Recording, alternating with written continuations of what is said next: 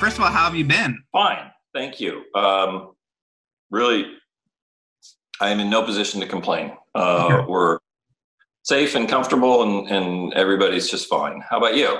Yeah, good. I mean, have you been like super productive? I know some people are like, I've finished 10 scripts I've wanted to work on or anything like that. Is that, have you been like that? Well, I don't like those people very much. Uh, um, I've I've been okay. I've, I've done all right. I finished a couple things. I focused a bit more on on original stuff because you know the deadlines are more relaxed, and if you don't get anything done for a few days, you can forgive yourself. So I owe one rewrite that I ought to get to. Um, but you know, generally we have two. I have two older kids and two younger kids. The two younger ones live with us, and you know, I don't know if you have kids in your place, but it's uh, the online school thing is it's challenging. So uh, it's a little it's a little distracting around here. But yeah, I have done I have done some I have done some good work. I think. Uh, we working on novel two? Because I was a big, I'm a big cold storage guy over here. So, Oh, thanks. You know, Yeah. we were up, and with the, when when COVID hit and we had to shut down, um, we were about to start prep. We have a director, and uh, Paramount wants to do it, and we were about to go, and hopefully we will soon. Um, but yes, I got another novel in, in the works. I wrote a, um, you know, I wrote another prose piece that that's going to be an Audible original. Uh, Kevin Bacon also read. He just recorded it last week, so that's that's coming out this summer. But oh, uh, that's great. yard work. Okay. Um, I've been I've really been loving the prose. That was writing that book was just a great experience. yeah, it was, it was, uh, it was an annoyingly well-formed first novel. It was like, how is this his first book? But yes, everyone should go read this book. It's wonderful. Well, first novel, but after 30 years of writing, so that's you know, true. That's true. I had warmed up a great deal. It was pretty. It, it was pretty delightful to be able to write to uh, to to be able to write what a character was thinking or feeling.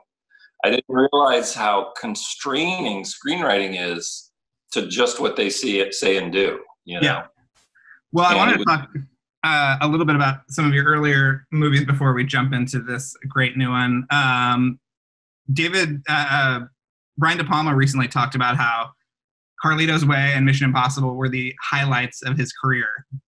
Um, and I wanted to know what your experience was on those movies and, and sort of what your take was. They were great. Brian and I have stayed close friends uh, uh, ever since. He's he lives just a couple miles away. Uh, we have socially distanced coffee from time to time.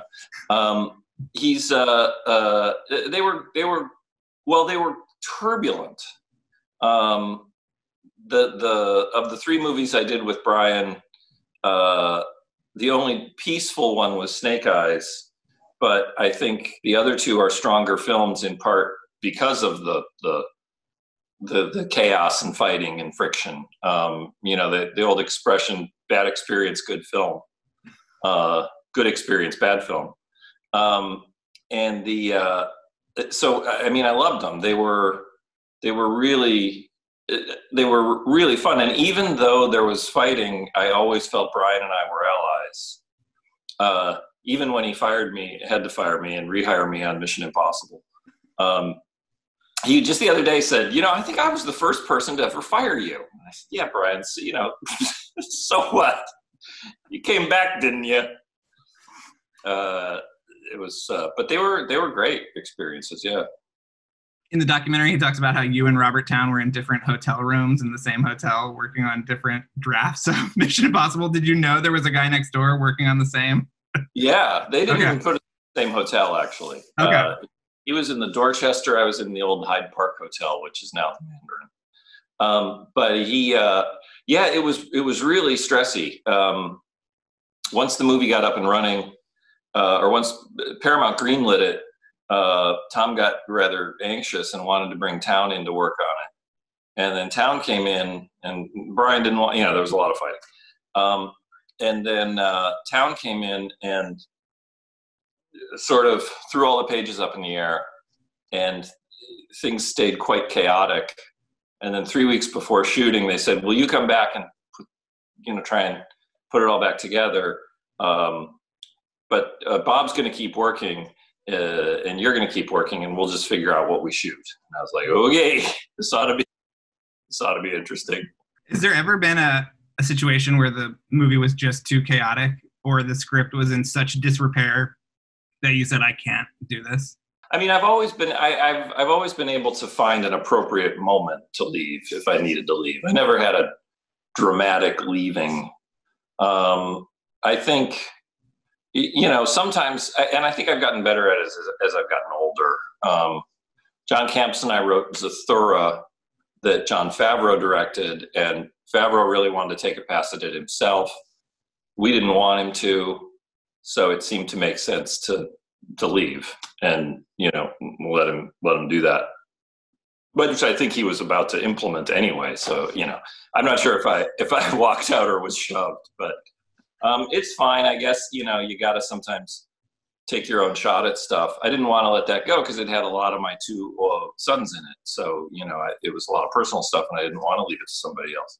So I think I probably threw a hissy fit on the phone as I left, but um, uh, other than that, you know, you kind of know when your time is up on a movie. Okay. Um, and because it, usually if you get fired or if you quit, it's because it's not because people are unpleasant, it's because you're out of ideas or your ideas just aren't gelling with theirs. And it's kind of a relief, actually. Right. Uh, one of the movies you wrote, which is one of my favorites, is The Shadow. Uh, from a while ago, which feels like a Preston Sturges superhero movie or something. But, uh, what was your experience on that? And and were there ever talks of like coming back and doing another one, or or was that sort of it for that property? That was kind of it. I don't think it made enough money for for for there to be another one. Uh, I'm kind of surprised they haven't tried again. I mean, they have over the years tried to get it going, but they never made one um, because it's such a cool old property. It's it has the invisible man problem. You know, how do you manifest somebody you can't see? Um, but uh, it was it, it, was really stylish. That was a there was a lot of there was a lot to, to be said for that movie. It was kind of bananas. One of the highlights of my career, though, was one day watching Jonathan Winters improvise. Um, you know, none of it usable, but he just there was a scene in the Cobalt Club, and uh, you know Lamont comes in and sits down, and Winters just goes off for like a page of stuff, and it was hilarious and fantastic. Not in keeping with the rest of the movie, but it was Jonathan Winters. It was crazy. Did Raimi ever bring up the shadow to you when you guys were working on Spider-Man? Because he had wanted to do it for years. Yeah, I think we've talked about it once or twice, uh, okay. but I think we, he went and did Darkman, which you know, right. may have had certain overlap with yes. the shadow. I don't. Legally dissimilar uh, shadow. Um, Not in a legally actionable way, mind you, but you know. Are there any of the the franchise that you worked on, whether it's Jurassic Park or Spider Man or uh, Robert Langdon, uh, that you would like to return to or think about sort of subsequent chapters in? Not really. I mean, you tend to get. I, I feel like I haven't done a lot of sequels in my day because I guess I've done a couple, but I feel like you use all your best ideas the first time. And I know in the Lost World, I you know we worked really hard, but um, and I think there's a lot of great stuff in it, but it just doesn't have the advantage of novelty the way the first of anything does. So um, I don't think I, I, enjoyed both the Robert Langdon ones, but you know I had a book to work from both times. Um, and everybody on those is just so delightful to work with that it was just really fun. Plus, you get to go to Florence and Rome and cool places. Um, in terms of, but you know, I, there was a time maybe seven or eight years ago where I was going to come back for a couple Spider-Man movies after they'd done their first Amazing Spider-Man, and I'd had on the very first Spider-Man, I'd sort of planned out what I thought the first three movies should be, and then all the assorted personalities, it didn't work for me to keep keep writing the Spider-Man movies. Again, jumped or pushed, who knows? And um, uh, so I came. So I was excited to come back and try to finish the story I'd started telling in the first one. And, and as we were about to agree that I was going to do that, I, I, pulled out all the old stuff and I'd started outlining those two movies. And and I thought, boy, that's you, you can't go home again. That moment has passed the time when I was really feeling it was 10 years ago. And there's no point trying to trying to recreate it. So I. Well, do you remember what you were planning for the subsequent Raimi Spider-Man movies? Yeah, it was a it was a basically it was a tell the telling of the the Gwen Stacy, uh, you know, Harry Osborn story, but I, I spaced everything out differently, um, and you know, I I I wanted I wanted Gwen to be killed in the in the middle of the second movie uh, because that tends, you know, it's following sort of the Empire Strikes Back model, um, and uh, you know, I had different villains I wanted to use, and just a different way to tell that story. Well, you were on. I don't know if you were still on Indiana Jones Five. Is that not more? Um, okay. When James Mangold came in, and I'd, you know, he he deserves a, a chance to take his shot at it. So I I'd done numerous or several versions with Steven. So when he when Steven left, it seemed like the right time to you know let Jim have his own have his own take on it and his own person or himself to write it. Right. Well, well, after that one comes out, we'll have to talk about what your version was going to be like. Um, you also were involved with the Mummy and wrote a Bride of Frankenstein, right? Yes, that's currently. Um, that was one thing I did during the quarantine. Is I I came back and finished, uh, brought Bride of Frankenstein into a place where I'd kind of always wanted it to be. Universal was very gracious to let me try again because they geared up and shut down famously in the sort of dark universe fiasco. Um, or not fiasco, disappointment. Okay. Uh, and uh, so I have a version now, and they have a version that we all really like, and I think they're they're uh, talking to some directors about it. Is it the more sort of scaled down Invisible Man model of it, or is it still? Um, yeah, it's not the it's not the great big you know 150 million dollar extravaganza with giant movie stars. It is definitely. It's not quite as scaled down as Invisible Man, you know, but a, a much more reasonable, doable, doable thing with I think a really cool idea, and it's all present day. Oh, okay. Were you were you supposed to shepherd the dark universe at all? Or did they talk to you about that? Uh, I don't know. You know, I've worked with Universal for a really long time, and um, they send me stuff and ask for ideas, and everybody you know, and I'm I'm happy to consult. And everybody, we were all trying to pitch in and make something out of that. And uh, you know, uh, not all ideas work out. to their credit, uh, what I what I really admired about Universal is they threw up their hands and said, "Whoa, hold on, hold on, this isn't working out. Let's stop and just think for a year or two. And um, I thought that was really smart. And you know, big corporations don't often do that um, say, you know, there aren't a lot of new Coke moments where they where they say this was this not as we hoped. We're going to stop and go off in this other direction. Right, but uh, thankfully we have that we have that photo to look at for the rest of our lives. Thank God of all the actors photoshopped. yeah, yeah, from different places photoshopped into one. Yeah. uh, well, you know, you're the movies that you choose to direct definitely have their own kind of feel. But the last Mortdecai was the first one you directed that you didn't write. Did that experience sort of inform what you were going to choose next to to direct? That experience, yeah, that that experience was a rough one. Um, in my defense, and I understand you weren't attacking. You very gently uh, brought that up, but I appreciate it. Um, look, if uh, there was a Brian De Palma said as that movie was coming out and clearly was about to be, you know, a disaster, just a, you know, commercially, critically, financially, personally, physically, you know, in every way, it was about to be a disaster. And Brian put his hand on my shoulder and said, "You haven't lived till you've had a major catastrophe." and uh, you know, and he said, "I should know. I've taken down two studios." So uh, uh, yeah, that that informed a lot of my choices, and I think um, uh, you know I can't blame anybody else for that movie not working out. I think it was a lot of people working together, making choices that just didn't work. But I also think, and, this is the in my defense part, that if you don't have one or two major catastrophes, you're not trying hard enough. You're not mixing up. And I've always I've always tried to work in other genres and work at things that I might not be good at. And I think it's safe to say I, I found one. Uh, with that. So so afterwards, um, I did. If I did direct again, I wanted something small. I wanted something that I really felt. I want something that you know kind of grew out of me, and I wanted to work with people that I you know knew and loved. So that's what I did. Well, uh, you know, you've said that the Panic Room uh, house is based on your brownstone in New York. Uh, is you, the, the house and you should have left based on your phantasmagoric Welsh manor? I wish I had one.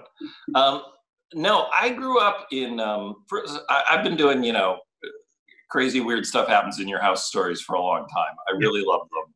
Uh, the domestic front is a place, you know, that that uh, I, I think is Rosemary's Baby is my favorite movie for a reason, you know, because scary stuff happens at home, and among those you love.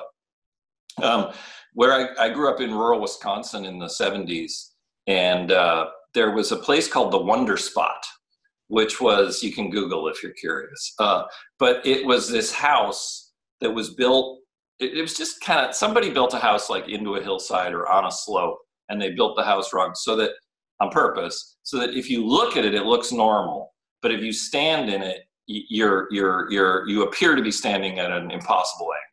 And if you put something down in the middle of the floor, it rolls the way exact opposite way that it should. Water seems to flow the wrong way. And it's it's all an optical illusion. But as a kid, that was where I always wanted to go.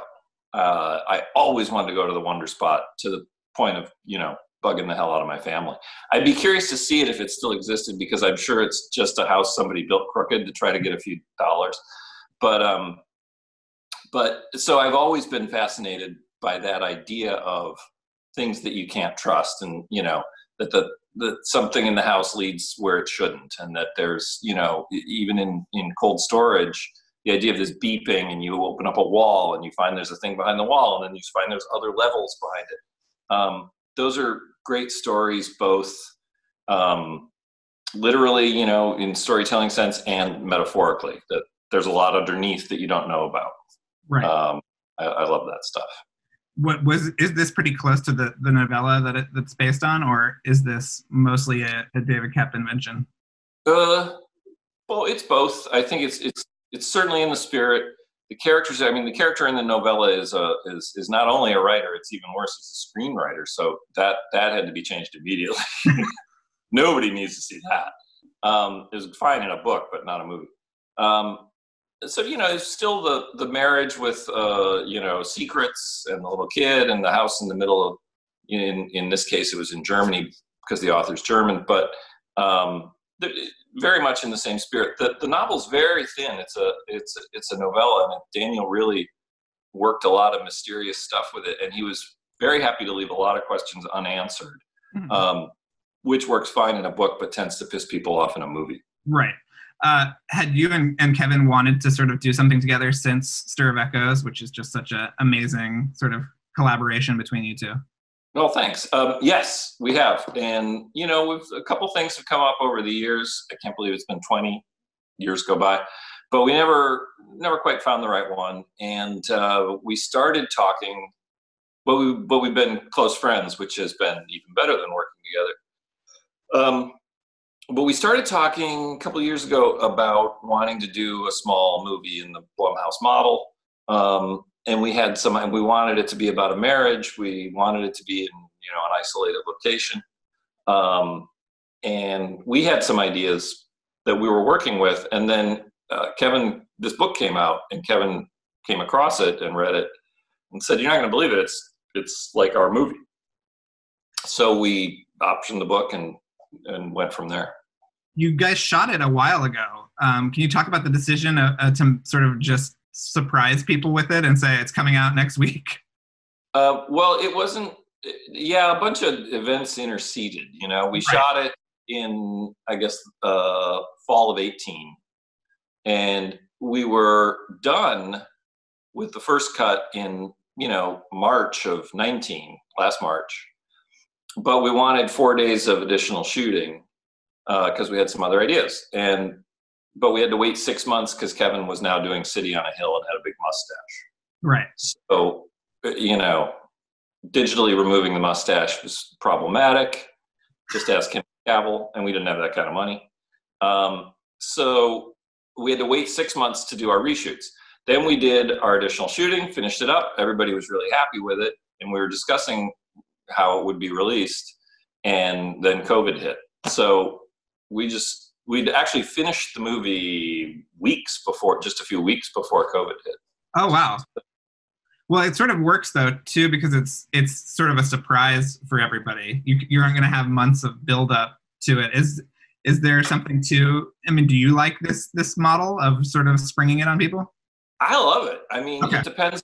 It depends on the movie, of course. You know, it it helps that if it's a five million dollar movie, um, you can you can the the pressure is so much less that you know you can do this, and it seems like you don't have to also. What I, I love not having to fight against you know a Marvel movie for a, for a release date and you know try to beg for a thirty million dollar ad campaign just to get noticed. Um, I think obviously I love movie theaters and I love going to movies and I, you know, I want to go to movies the rest of my life in cinemas. Um, but I also think this is a this is a great way to release movies. I know I'm excited if I turn on the TV and I see on you know iTunes or Amazon or whatever wherever I'm going new you know like new movies coming out to rent. I'm really excited. I've seen some great stuff on Amazon in the last couple of months that I never would have come across otherwise. Right. Uh, see the Vast of Night. Yeah, so good. Isn't it great? So good. Yeah. Watched that the other night. I mean, and that's a movie. I think they found it at Slamdance. They didn't make that, right? No, no, it was an acquisition. I think that that was another one that was done for a little while too. Right, and that never would you you'd never find that otherwise. It would not go to movie theaters, you know. And and uh, anyway, I was I thought it was great. Well, I but, mean, so I'm excited. Any, uh, is there any appeal to to make a bigger budget movie? I mean, would you would you ever take on uh, some kind of tentpole movie or franchise movie yourself? Not as a director. I I, I love them as a writer, okay. but you know, I, I'm not really for someone who's directed six or seven movies. Seven movies. I'm not temperamentally suited to directing at, at all. It, I really like being I really like being in a room alone and writing, or you know, with John Kamps, or and working with a, a talented director. Um, but the directing is just brutal. I mean, it's it's physically and emotionally difficult under the best of circumstances. And if things start to go bad, it's you're just besieged. I, I, I feel so bad for directors, and every time I do it, I do it because I love talking to actors and I love editing and occasionally I'll have a story that I feel like, well, I'd like this to be the way I see it. Um, and every time I do it, as soon as I start, I, am riding around in a scout van, and I think, how did I get myself into this again? Why have I? Why have I done it? Which you know, you can't really complain about to people. You know, woe is me. I have to direct movies every once in a while. So, uh, so yeah, no good answer to that that question. But no, not a tentpole movie for me. Thanks. Okay uh, we can't talk about what the sequence is, but there's an amazing sequence that I'm assuming took a lot of, of editing sort of towards the end of the movie. Um, can you talk sort of vaguely about what it was like putting that together? Because that that seemed like it was it took a lot of work to get sort of figured out. Thank you for noticing. Yes. and I'd love after we finish, I'd love to pick your brain about a couple things uh, just to see how they struck you and when. Um, but the um, yeah, I mean the movie the the the movie as a whole was really tricky to figure out, and we wanted to do. There are obviously some very cool things that happened in it, and we wanted them all to happen practically, um, as opposed to with uh, you know CG. Uh, or I mean, there's a tiny bit of CG trickery, but the the we wanted to, and we only had 26 days to shoot it, and then four additional days. So still not a great deal of time. So it, it called for a lot of planning.